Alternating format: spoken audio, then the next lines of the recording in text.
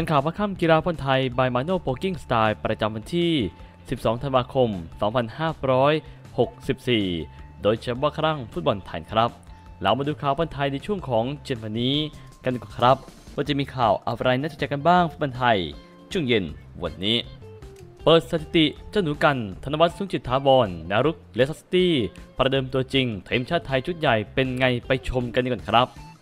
โดยงานนี้ที่ผมธนวัฒน์สุจิตถาวรนารุกวัย 21 ปี จากสโมสรเลสสตี้ทีมดังในศึกทางทางภารกิจ ถูกส่งลงสนามเป็นตัวจริง กับทางทีมชาติไทยชุดใหญ่ ครั้งแรกในรายการ AFF Cup 2020 ในครั้งนี้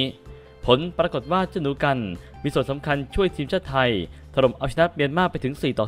0 โดยเกมดังกล่าวนั้นเป็นครั้งแรกที่เจ้าหนูกันธนวัฒน์สุจิตถาวรได้ลงเล่นร่วมกับทางชนาทิพย์สงกระสิน และก็ธีราทรบุญมาทันสองแข้งท็อปจากทาง J.League ของญี่ปุ่น โดยกันนี้เรามาเปิดสถิติเจ้าหนูกันกันดีกว่า หลังที่เขานั้นลงตัวจริงชุดใหญ่ AFF ครั้งแรกในครั้งนี้ โดยกันนี้เริ่มจากนะฮะหนึ่งนะครับผมลงสนาม 76นาที ยิงเข้ากรอบ 3 ครั้งมากที่สุดของเกม บล็อก 2 ครั้งมากที่สุดของเกม turnover 1ครั้งมากที่สุดของเกมสัมผัสบอล 81 ครั้งจ่ายบอล 62 ครั้งจ่ายบอลสำเร็จ 57 ครั้ง อัตราการจ่ายบอลแม่นยำ 91.94%โอกาสในการยิง 5 ครั้ง ยิงเข้ากรอบ 4 ครั้ง สร้างสรรค์โอกาส 2 ครั้ง จ่ายบอลยาวไปถึง 5 ครั้ง จ่ายบอลยาวสำเร็จ 5 ครั้ง อัตราการจ่ายบอลแม่นยำ 100% cross บอล 3 ครั้ง cross บอลสำเร็จ 2 ครั้งสำหรับโปรแกรมการแข่งขันนัดต่อไปของทีมชาติไทย จะพบกับทางฟิลิปปินส์วันที่ 14 ธันวาคมนี้ณสนามสิงคโปร์ National Stadium ในครั้งนี้ ก็ขอให้ทีมชาติไทยของเรานะฮะ ลุยกันต่อไปจนถึงนัดสุดท้ายที่ต้องเป็นแชมป์นั่นครับ ก็ฝากติดแฮชแท็กเชียร์ไทยเชียร์ไม่เลิก เชียร์ทีมชาติไทยชุดใหญ่กันด้วยครับ เรามาดูประเด็นข่าวต่อมากันดีกว่าครับความรู้สึกแฟนอาเซียนหลังเห็นฟอร์มทีมชาติไทยถล่มเอาชนะเมียนมาไปได้นัดเมื่อคืนนี้ 4 ต่อ 0 โดยกันนี้ความรู้สึกแฟนบอลอาเซียนนะครับผมมาดูกันดีกว่าว่าแต่ละคนนั้นเขาจะว่าอย่างไรกันบ้าง หลังต้องทึ่งในความโหดของทีมชาติไทย ที่ซัดไม่ยั้งเมียนมาแบบเละเทะไป 4 ต่อ 0 นัดเมื่อคืนนี้ เริ่มจากหนึ่งกับกองกันกัน ประเทศไทยแข็งแกร่งเป็นอย่างมาก ฉันเคารพในทักษะของประเทศไทย มีผู้เล่นที่ยอดเยี่ยมมากมาย ยินดีกับชนะของคุณในวันนี้จากแฟนบอลเกาหลีใต้คอมเมนต์ต่อมา ทัวร์นาเมนต์นี้ทีมชาติไทยจะมาคว้าแชมป์ไม่จงได้ ทีมไทยมีตัวสำรองจำนวนมากที่สามารถเปลี่ยนได้ตลอดเวลา คอมเมนต์ต่อมา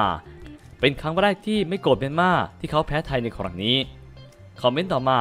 รักชนาธิปรักธีราทรรักแดงดา รักศุภโชค รักศศลักษณ์รักลิซ่า รักไทยแลนด์จากเกาหลีใต้ คอมเมนต์ต่อมา ขอแสดงความยินดีกับทางไทยแลนด์จากเมียนมา คอมเมนต์ต่อมา ฉันคิดว่าประเทศไทย สิงคโปร์ มาเลเซีย และอินโดนีเซียจะเข้าสู่รอบรองชนะเลิศในครั้งนี้ คอมเมนต์ต่อมา ทุกทีมพยายามจอดรถบัสกับประเทศไทยนะ คอมเมนต์ต่อมา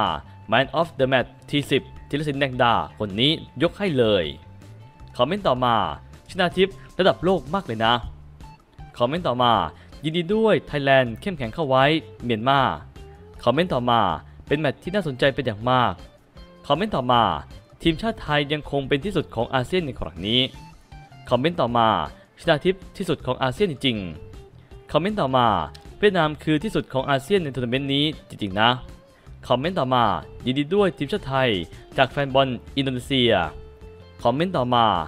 เห็นเกมของไทยดีมากเลยนะ ผมคิดว่าไทยคือผู้ท้าชิงที่แข็งแกร่ง ในการคว้าแชมป์ AFF Cup จากทางแฟนอินโดในครั้งนี้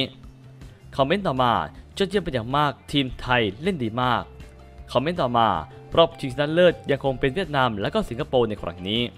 นี่นะผมก็เป็นคอมเมนต์บางส่วนของแฟนๆบอลอาเซียน ที่ได้ดูฟุตบอลนัดเมื่อคืนนี้ ที่ทีมชาติไทยนะฮะเล่นยังกับระดับพรีเมียร์ลีกอังกฤษเลยก็ว่าได้ในครั้งนี้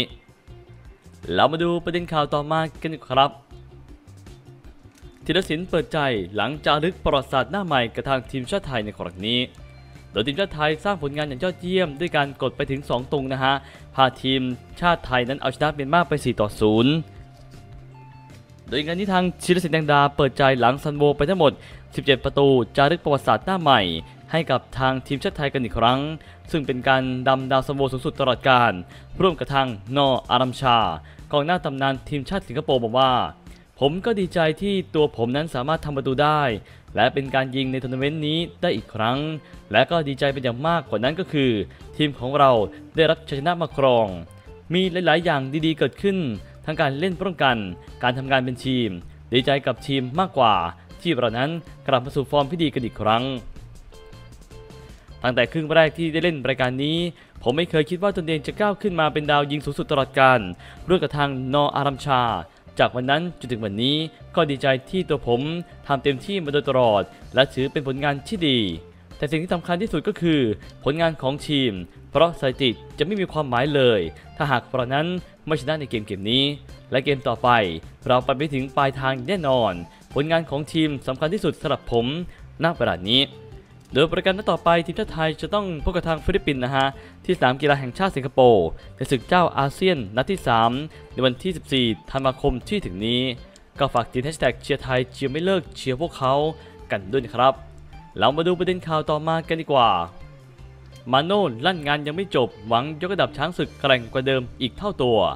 เดอะมาโนโพกิ้งลั่นงานนี้ยังไม่จบนะฮะหนทางจะอีกยาวไกล เพราะว่าผ่านมาแค่ 2 เกม หวังยกระดับแข้งช้างศึกให้แกร่งขึ้นกว่าเดิม ปัดต่อเรื่องจุดโทษที่ได้ ยืนยันทุกคนเห็นว่าประโดนเตะเต็มๆ ชี้ทีมไม่ได้ชนะเพราะจุดโทษ แต่ตลอดเกมเล่นเหนือกว่าอย่างชัดเจน จึงเหมาะสมเป็นผู้ชนะแล้ว ชมเปาะธีรศิลป์แดงดา คือกองหน้าชั้นยอดของเมืองไทยร่วมยินดีทำสถิติทาบนออารัมชา หลังจากที่ทางมาโน่ โพลกิ้งกุนซือใหญ่ของทัพช้างศึกทีมชาติไทยนะฮะ สามารถพาทีมลงสนามในเกมนัดที่ 2 ถล่มเอาชนะเมียนมาไป 4 ต่อ 0 เก็บ 3 แต้มเต็ม มีเพิ่มเป็น 6 คะแนน ขยับรั้งจ่าฝูงของตารางคะแนนกลุ่ม A ในศึกฟุตบอล AFF Cup 2020 เมื่อวันเสาร์ที่ผ่านมา ล่าสุดทาง head coach ชาวบราซิล เชื้อสายเยอรมนีก็ได้ออกมาให้สัมภาษณ์หลังจบเกมนี้มาว่า เรามีความสุขกับฟอร์มการเล่นของทีมในเกมนี้เป็นอย่างมากเลยนะผมคิดว่าเรานั้นยกระดับการเล่นของเรา จากเกมแรกนั้นได้มากพอสมควร เรามีแนวทางชัดเจนในการควบคุมสถานการณ์ต่างๆ มากมาย โดยเฉพาะเกมรุกที่สร้างโอกาสได้ชัดเจน มากกว่าก่อนเกม และเรานั้นมีความสุขเป็นอย่างมากที่ได้รับชัยชนะ และยิงได้ถึง 4 ประตู และมุ้ยก็ได้กลายเป็นดาวยิงสูงสุดตลอดการของรายการนี้ หลังยิงไป 2 ประตู ผมมีความสุขเป็นอย่างมาก เช่นเดียวกับเกมเกมนี้ แต่งานของเรานั้นยังไม่จบนะฮะ เส้นทางยังอีกยาวไกล